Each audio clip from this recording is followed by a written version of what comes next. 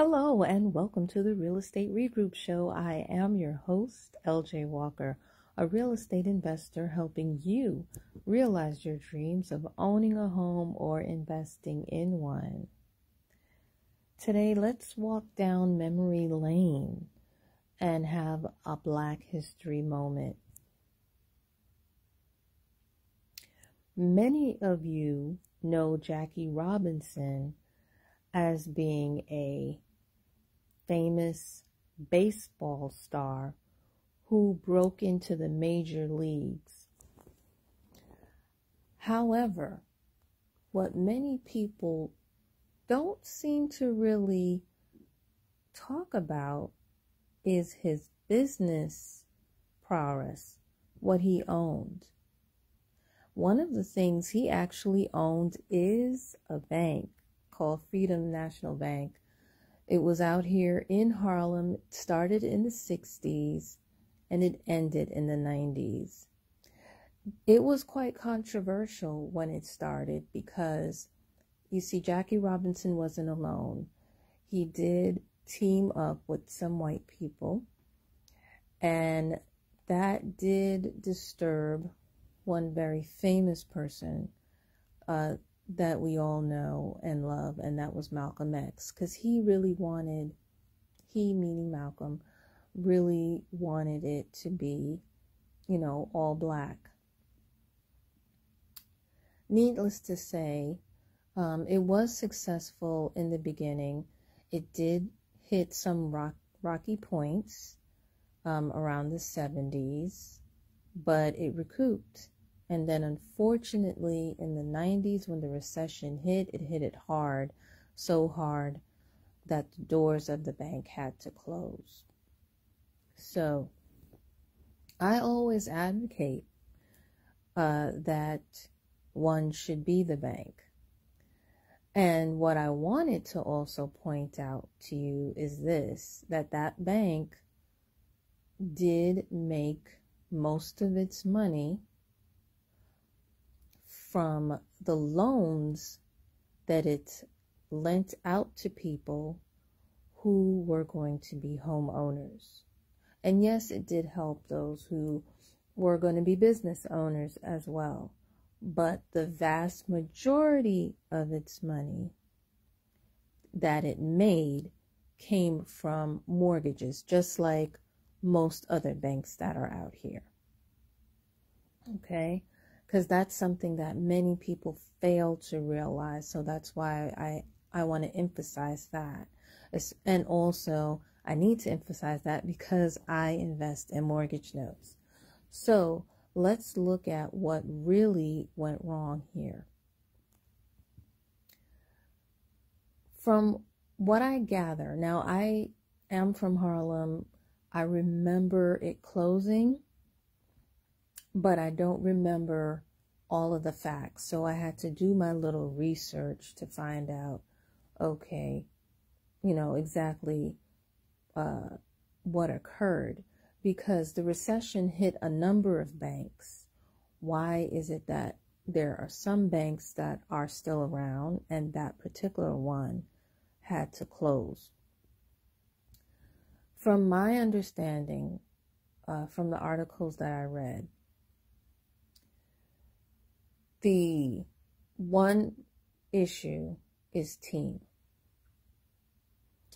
Many of the people who worked in the bank had good hearts, cared about the community. As a matter of fact, let's let me rewind for a second. The main reason why Jackie Robinson started that bank is because back in the 60s there was a lot of redlining going on. Many black people who qualified for loans were denied loans. They were denied mortgages due to racism.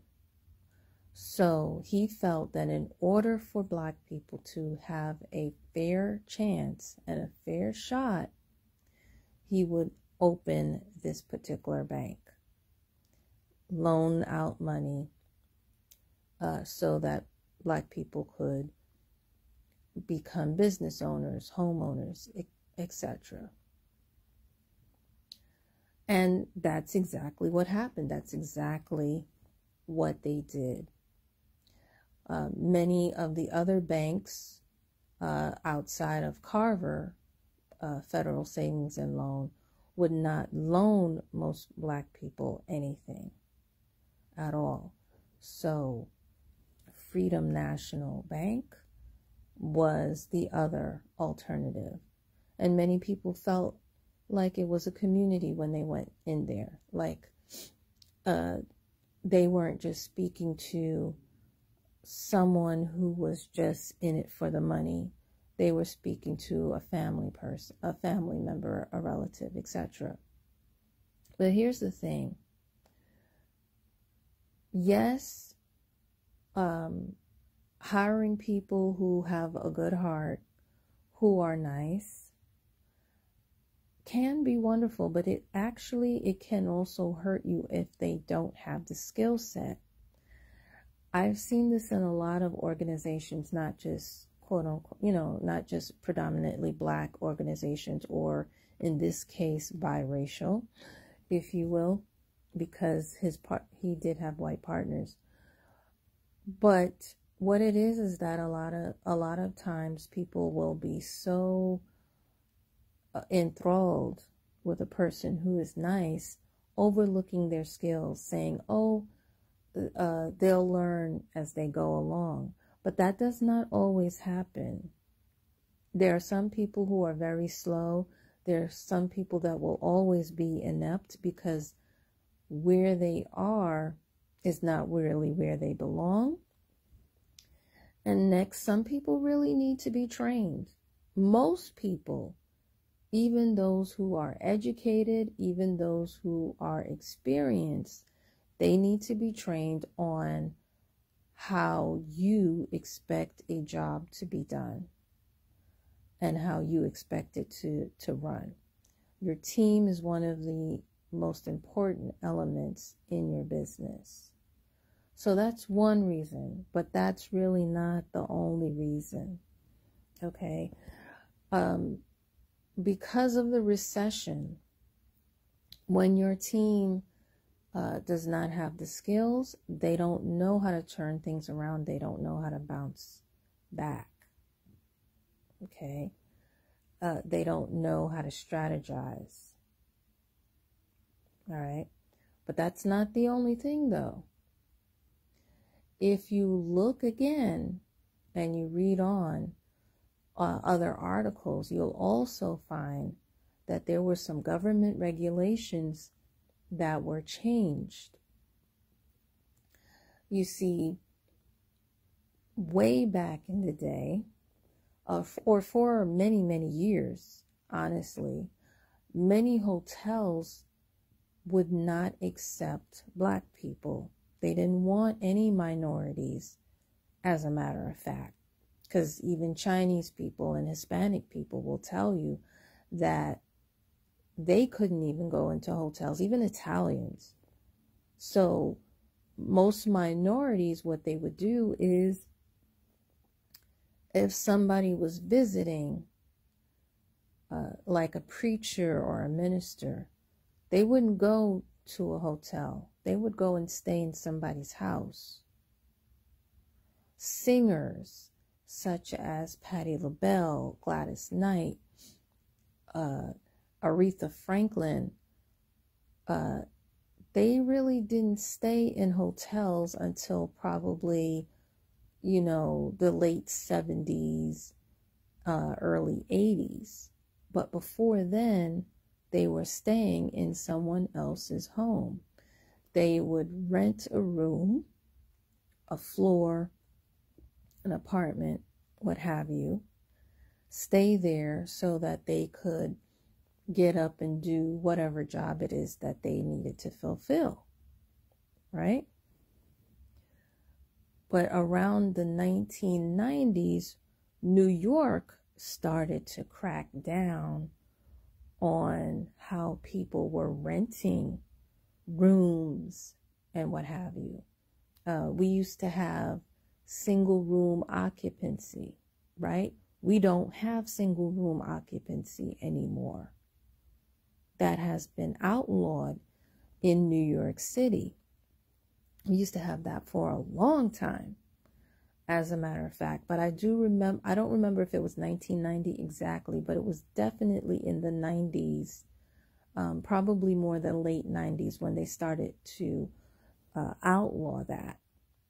And if you had a single room occupancy uh, property, if it had that designation, and if you uh, cut up the uh, the rooms that way, you had to modify your building and turn it into an apartment and not just you know room over here room over there like a like a hotel. So um, that anyway needless to say that's what many black people did because to supplement their income. And that's how they were able to pay the mortgage. Once that became illegal, they couldn't pay their mortgage anymore because that extra income wasn't coming in. Some, of course, was able to, you know, sneak and get away with with with it, but if they were found out, then they couldn't pay back that mortgage because they just didn't make enough money to do so. And when I when I read this, when I did that research, I said to myself, you know what? I wonder why Airbnb did not use this as an example as to why uh, it should uh, be it should not be so heavily regulated in New York City. You see, in New York, you can do Airbnb. It's just that it has to be 30 days or more. It can't be 30 days or less. You understand? And when they changed that rule, so many people, including landlords, lost out on that income. Some tenants too, because you have tenants here that could not pay their rent and they used Airbnb as a side hustle to give them money. And some for some people it wasn't even a side hustle. For some people it was their livelihood. You have people who are retired and they have a little bit of pension, not enough so, yes, they'll rent their room. You have some people who are retired and get no money at all. They, the job didn't have a pension, or, or they have, um, you know, you also have some some people who just don't have anything at all, no kind of savings, no nothing. So they depended on Airbnb for income to pay their rent or income to pay the mortgage. And I fear that the same thing that happened back uh, during Jackie Robinson time may also happen again now. Because you have this moratorium. Some people, now in some states, yes, the moratorium ended but you do have some states that want to reenact the moratorium and bring it back again. The courts are are overcrowded. So, and then um, New York is really not the only state that has heavy regulations. There are other states, and I've I've heard, overheard, that there are some cities where they have outlawed Airbnb. You see, and I really feel that that they should, uh, they meaning the politicians and Airbnb, they need to revisit this situation. You see, when you forget history, history will have, uh, will is doomed to repeat itself. So the saying goes. And I believe that it may repeat itself if they don't get this thing together. You already have properties going into foreclosure. And when you have too many properties going into foreclosure like this, banks might begin to lose their money. Now, the only positive to a certain degree is that because many properties around the United States, the value has gone up, banks, uh, many banks will definitely uh, be able to recoup whatever losses in mortgage by just selling the property. But that's not, it's still not going to be everywhere. And the people who are going to get hurt probably will be the smaller banks, not so much the big banks. Right? So then you're going to be looking at bailouts for banks.